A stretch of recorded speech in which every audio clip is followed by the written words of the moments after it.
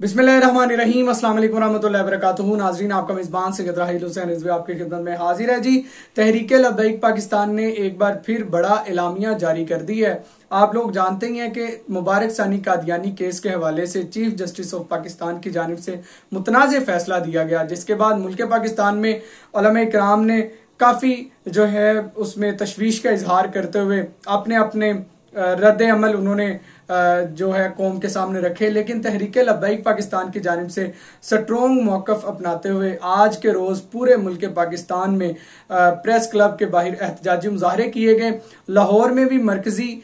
مظاہرہ جو ہے وہ پریس کلب کے باہر شملہ پہاڑی کے قریب جو ہے وہ کیا گیا جس میں علامہ حافظات حسین رضوی صاحب نے خود تقریر کی۔ نائب امیر پیر سید ظہیر الحسن شاہ صاحب موجود تھے اور دیگر اراکین شورا سمیت تمام قائدین جو ہے مرکزی اسٹیج پر لاہور میں موجود تھے۔ علامہ سعد حسین رضوی صاحب نے بھی چیف جسٹس آف پاکستان کے حوالے سے بڑا اعلان کیا ہے اور ساتھ نائب امیر پیر سید ظہیر الحسن شاہ صاحب کی جانب سے بھی تقریباً ایک کروڑ انعام کی پیشکش کی گئی ہے۔ تمام تر تفصیلات آپ سے شیئر کرتا ہوں، لیکن گزارش یہی ہے کہ اگر آپ چینل پر نئے ہیں تو چینل کو ضرور سبسکرائب کر لیجیے گا۔ ایز یو نو کہ مبارک ثانی قادیانی کیس کے حوالے سے چند روز قبل جو فیصلہ آیا متنازع، اس کے بعد ملک پاکستان میں علماء اکرام کی جانب سے کافی زیادہ اس پر بحث کی جانے لگی اور تقریباً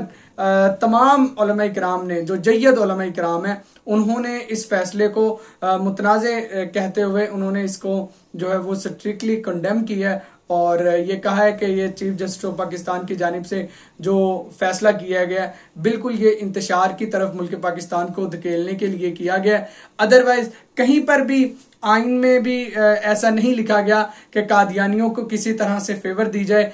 یا کسی طرح سے بھی ان کو جو ہے وہ تبلیغ کی اجازت دی جائے۔ لیکن چیف جسٹس آف پاکستان کی جانب سے جو یہ فیصلہ کیا گیا، اس میں جو ہے وہ واضح لکھا گیا ہے کہ قادیانی جو ہے اپنی چار دیواری کے اندر جو ہے اپنی تبلیغ کر سکتے ہیں، اپنا جو ہے پرچار کر سکتے ہیں اپنے مذہب کا۔ یعنی مذہب تو ان کا کوئی ہے ہی نہیں ہے نا، وہ اسلام کو ہی مذہب کہتے ہیں اور اس کا لبادہ اوڑھنے کے بعد وہ جو ہے ہمیں مسلمانوں کی یعنی کافر ڈکلیئر کرتے ہیں اور خود کو کہتے ہیں کہ ہم احمدی ہیں اور ہم مسلمان ہیں۔ تو خیر، وہ اپنا یعنی اپنی جو ان کی تعلیمات ہیں، ان کی تبلیغ ان کی جو تبلیغ ہے، اس کو جو ہے وہ چادر، چار دیواری کے اندر یعنی کر سکتے ہیں۔ یعنی کوئی ایسا ادارہ ہو ان کا کوئی انسٹیٹیوٹ ہو، اس کے اندر وہ اپنی تعلیمات کو آگے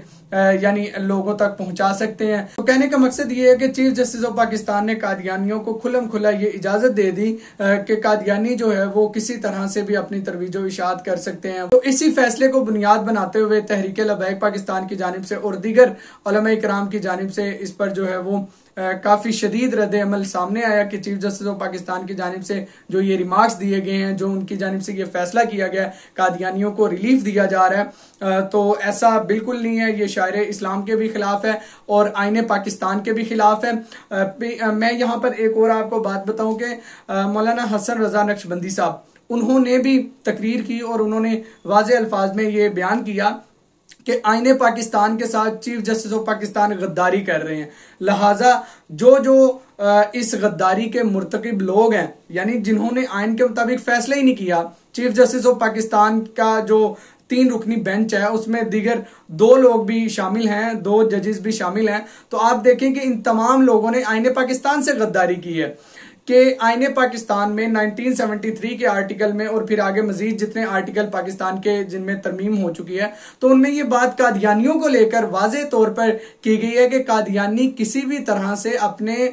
جو ہے تعلیمات ان کا پرچار نہیں کر سکتے۔ آئین پاکستان کے خلاف جو ہے چیف جسٹس آف پاکستان نے فیصلہ دیتے ہوئے یہ ریمارکس قادیانی مبارک ثانی کیس میں جو ہے وہ دیے ہیں کہ یہ پرچار کر سکتے ہیں۔ کسی طرح سے بھی یعنی ترویج و اشاعت اپنے جو ہے وہ گند کی کر سکتے ہیں۔ تو یہ سراسر آئین پاکستان کی جو ہے وہ خلاف ورزی ہے، کیونکہ آئین پاکستان میں یہ مینشن ہے کہ قادیانی جو ہے وہ غیر مسلم ہے اور کسی بھی طرح سے نہ تو وہ اپنے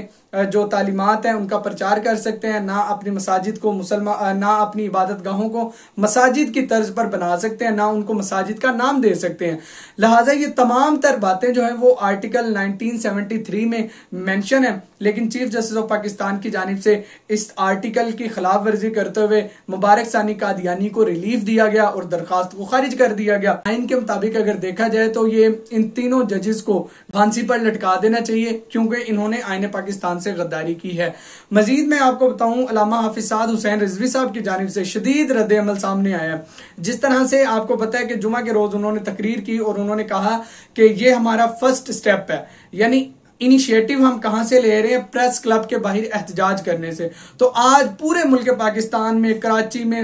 گودا میں، سندھ میں، بلوچستان میں، اور لائک آپ کہہ سکتے ہیں کہ حیدرآباد اور جتنے بڑے شہر ہیں، لاہور سے میں دیگر شہروں میں جو ہے وہ پریس کلب کے باہر جو ہے احتجاجی مظاہرے کیے گئے۔ اور لاہور میں امیر تحریک لبیک پاکستان نے اس قیادت اس کی خود کی۔ اور نائب امیر پیر سید ظہیر الحسن شاہ صاحب کی جانب سے جو اعلان کیا گیا ہے، وہ بڑا شاندار قسم کا اعلان ہے کہ انہوں نے جو ہے، اتنا بڑا اعلان کیا ہے کہ انہوں نے تقریر کرتے ہوئے یہ بات کہہ دی کہ اگر چیف جسٹس آف پاکستان یعنی قاضی فائز عیسیٰ یا قادیانیوں کے جو حامی ہیں، جو اس فیصلے میں ملوث ہیں۔ تو یہاں پہ مزید پہلے میں ایک اور آپ کو بات بتا دوں، پھر میں اس طرف آتا ہوں۔ پیر سید ظہیر الحسن شاہ صاحب سمیت دیگر ہمارے جو اراکین شور ہیں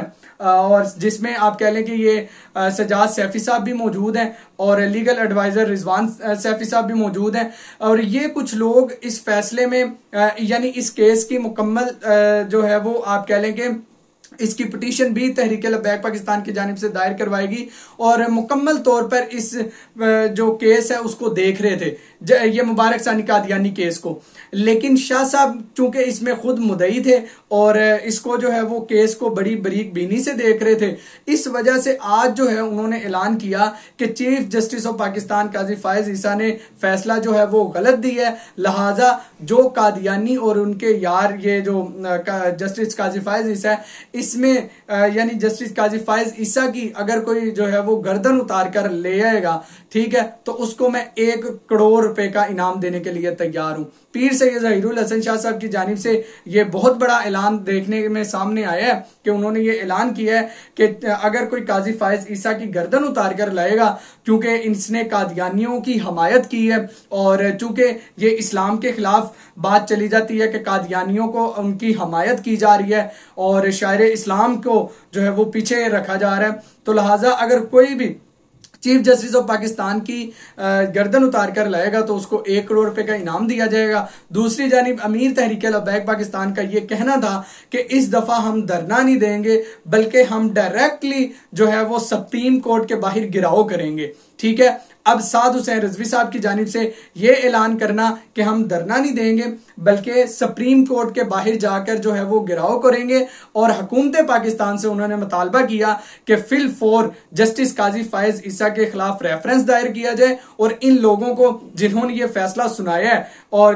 جسٹس قاضی فائز عیسیٰ سمیت دیگر لوگوں کے خلاف ریفرنس دائر کیا جائے اور قانون کے کٹہرے میں ان کو لایا جائے۔ آج کی جو تمام تر اپڈیٹس تھیں وہ تو میں نے آپ سے شیئر کر دی ہیں۔ انشاءاللہ تعالی جیسے کوئی اگلا لاہے عمل تحریک لبیک پاکستان کی جانب سے آئے گا، وہ بھی آپ سے شیئر کریں گے اپنے میزبان سے حسین رضوی کو اجازت دیں فی امان اللہ۔